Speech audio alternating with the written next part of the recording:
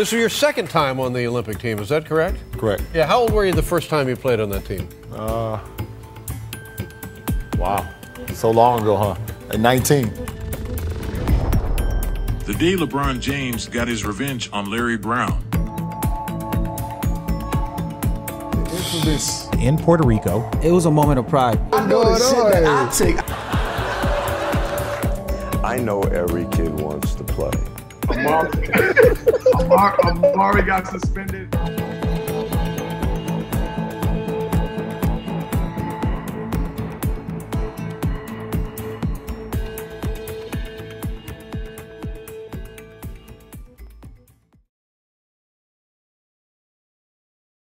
Wow. So long ago, huh? At 19. 19, 19 years old. 19. I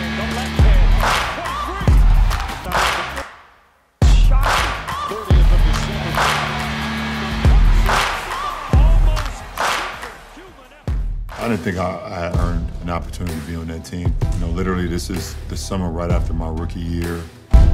The NBA put a lot of pressure on in terms of adding some future stars Dwyane Wade, Carmelo Anthony, and LeBron James.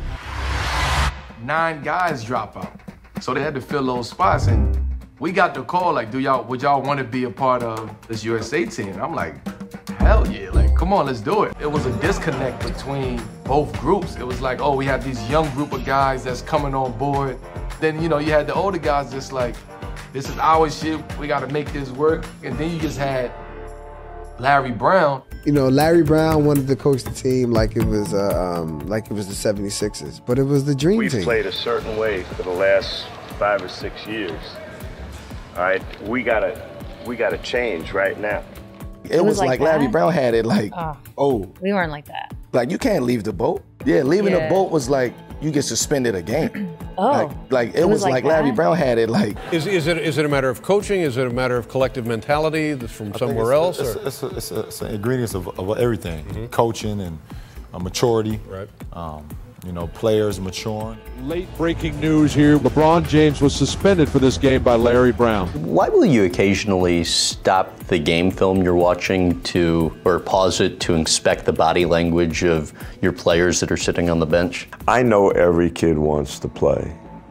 Um, and if you're sitting on the bench, I know it's a natural feeling that you're hoping that maybe somebody will call your name so you can get in. And subconsciously, maybe it's thinking, I, maybe one of the starters is not playing as well as he's capable of playing, and coach will give me an opportunity. But the way you acted on the bench, to me, sent a message to what your program's about.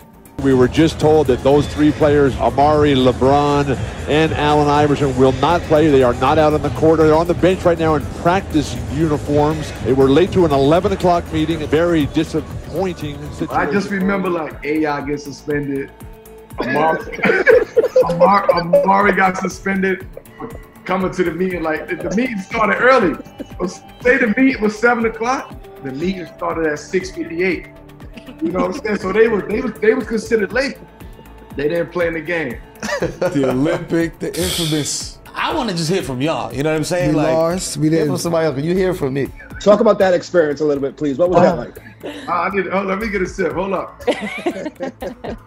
I have a different experience than Sue, though. I'll tell you that. Talk to us, please. The younger guys, we were pissed at Larry Brown because he didn't play us.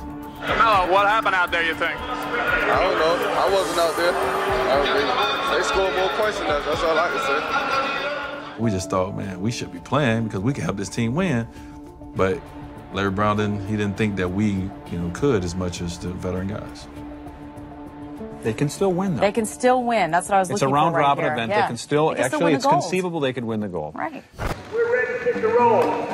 You go screen. This has become a world sport. We better respect the people we play or we're going to be in trouble. You know, I don't think the first team understood that in 2004. Why, why, why wouldn't they understand that? I don't know, and that's why we that's why we came home what we came home with. If I do a combo memory, what I remember is like you had Melo, LeBron, D Wade were kind of like the young bucks. Like you guys played a little bit too, but not probably as much as as you deserved. It was our first Olympics, our first USA basketball like senior Mhm. situation. And what was really similar was none of us were playing. like so that, That was real similar. So it actually shaped the experience a little bit. I didn't. I couldn't understand it. Just at that time, it's like, how? Especially like what are you thinking when like y'all lose to Puerto Rico? I was bittersweet. Yeah. Damn, like man, we lost to Puerto Puerto Rico Rico coming up. first game. That's when he Carlos does the Arroyo draws the foul and one. We didn't take Puerto Rico with the respect they deserve, that's for sure, and they uh, they kicked our ass. It's finally happened. The United States loses in Olympic play with NBA players. How many uh-huh. times have you signed that photo Man, where you like this or this? you know, when I when I did it, the the camera catches me like in the last moment because I went all around like, yeah, you know, it, it was a moment of pride. You know, you oh you hear you hear all that. Puerto Rico, oh, like you know, so you hear all of that. So we in there, I'm like, man, I'm like, yo, we ain't Carlos. Carlos, of course. Yeah, Carlos, yeah. Yeah. Shout out to Carlos, man. Carlos Arroyo. It was beautiful. You know, it was crazy. It was the first game uh, for us at the Olympics. Yeah. Beating the U.S. in the Olympics and being one of the first ones to do it. You know, it's a picture that lives forever. You know, Yeah. Um, I'm in the social study books for kids in Puerto Rico. And it's like, with his jersey. So I'm, I'm on We this were at that side, like game. looking at the USA people, and it's and it's man, they gonna kill us. The world is no longer mesmerized, and U.S. professionals are no longer undefeated. A startling upset by tiny Puerto Rico. And a group of Olympic rookies left to wonder how and if.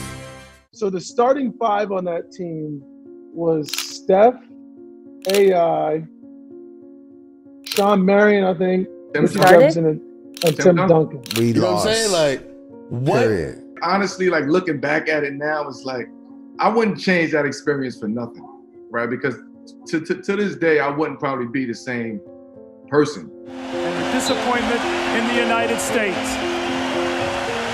No gold medal for the United States men. And many saw this happening. You might be starting to say there's a new era in Olympic basketball, and it's one in which the United States is no longer dominant. So Marion and Richard Jefferson, obviously small forwards. We did a fucking piss poor job. They field the youngest roster that they ever have of a bunch of players with zero international experience or n- very little international experience.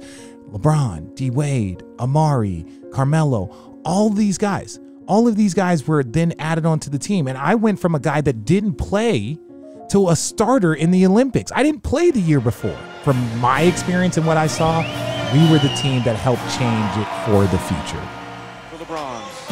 I'm sitting up on the podium, you know, receiving the bronze, like, you know, this shit was a waste of my time. At that moment, I, I definitely wasn't playing for Team USA again. Carmelo and LeBron made a pact. Every time you face Shawn Marion and Richard Jefferson, because they started over them on the Olympic team, what was the combos, Melo? It was just more like when we made that pact, right? It was just like, yo, they s- like what? We not they playing in front of us? I hope they understand the difference between coaching and criticism. I, I, that's really a key. And they had to make sacrifices. I asked Richard Jefferson about it. He was like, and I had nothing to do with Nothing it. to was do with it. It was Larry Brown's choice. It wasn't mine. I didn't do anything. LeBron ranked ninth on the team in minutes played, and Larry Brown only played LeBron James for three minutes in the semifinal versus Argentina. For Argentina. Where the United States going to go to get a hoop here? Marbury looked like he was going to shoot a quick three. He Finds LeBron James. And James. Team USA ultimately settled for the bronze medal. The next time LeBron James faced Larry Brown and the Detroit Pistons, this happened.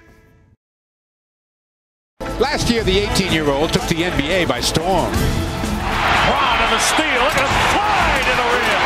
Way up in the rafters. And bring it down hard. Now at 19, LeBron's better. LeBron James. LeBron loves levitation. And welcome back to the Gund Arena. The Pistons and the Cavaliers tonight on NBA Wednesday. Ilgauskas outlets to McInnes. Now Cleveland in transition. This is James. Jeff McInnes, LeBron James's teammate, recalled LeBron didn't say anything to us, but I think he wanted to stick it to Larry Brown. NBA's. Back to you guys. It's the Cavaliers think in the back of his mind, that's what he wanted to do, said Jeff McInnes after the game. Oh my. Oh my.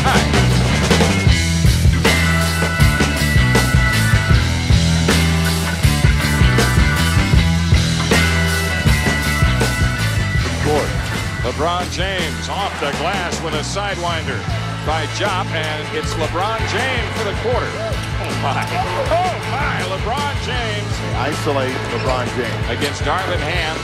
Oh my. Oh, that, that was some shot as he pulled it back. With each minute of this game, LeBron James is coming up with something new. Got the ball off the glass. Now they're walking up. Wow. Oh, I think they're firing out there as LeBron James attacks. I am demanding. I do get on kids. And I'd get on some of them. And uh, every once in a while, they get so angry at me that they learn to love each other Yeah. and bond. There you go. Um, I, uh, and I don't do that by design. LeBron James with a wraparound move. And the basket. Beats Hamilton and hangs the shot up and in.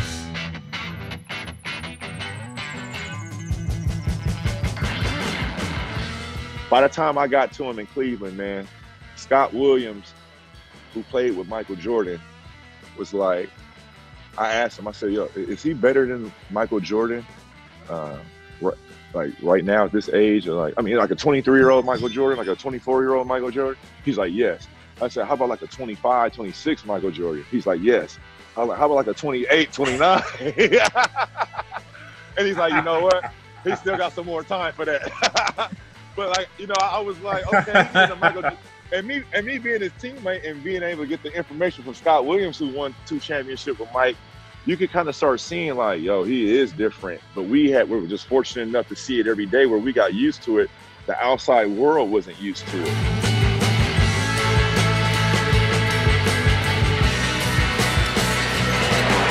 LeBron again. Hello. He said, okay, I got that too. And this one is coming to an end as Traylor takes down the rebound. Maybe seeking to prove he deserved more playing time during the Olympics in Greece, LeBron James dropped a then career high 43 points, leading the Cleveland Cavaliers to a commanding 92 76 victory over Larry Brown's Detroit Pistons.